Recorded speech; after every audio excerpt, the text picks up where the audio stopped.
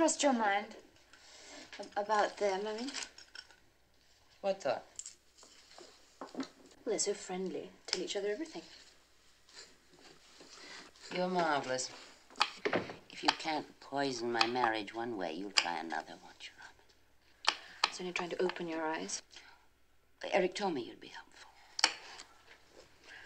He thinks all women are bitches. Objects of pity. Thank you. Cut your finger. Yes, I cut myself. We're finished, Robin.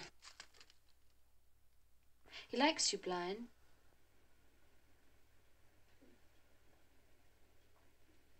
Likes me what? What did you say? Well, that's why you're blind, isn't it? It's the only way you can hold him. Oh, if I could see. Ow! Me!